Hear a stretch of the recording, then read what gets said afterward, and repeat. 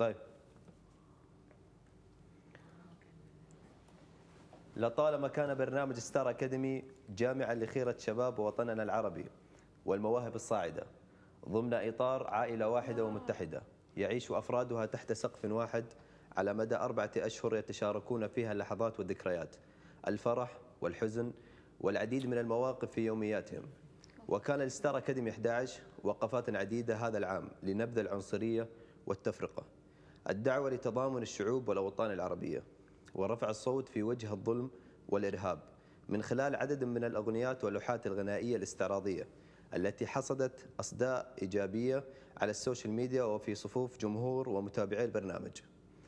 فمواقع التواصل الاجتماعي هذه هي المنصة الأبرز لدعم وتأييد طلاب ستار أكاديمي ووسيلة لتقريب المسافة بين الطلاب والمعجبين من جهة والمعجبين بين بعضهم البعض من جهة أخرى إلا أنها تحولت مؤخرا إلى ساحة تجاذب بين بعض النماذج من الجمهور التي تدعو إلى التحريض على العنصرية والكلام المسيء بحق الطلاب والبرنامج والبلدان الممثلة.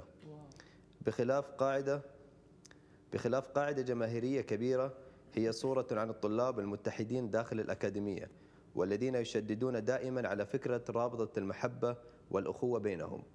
وقد جرت العادة أن تكون جلسة ال social media night فسحة أسبوعية يتواصل الجمهور فيها مع الطلاب تعبيرا عن محبتهم ودعمهم لهم.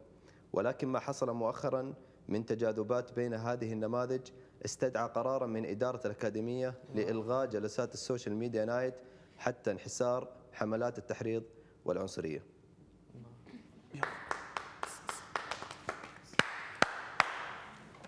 المسرح يلا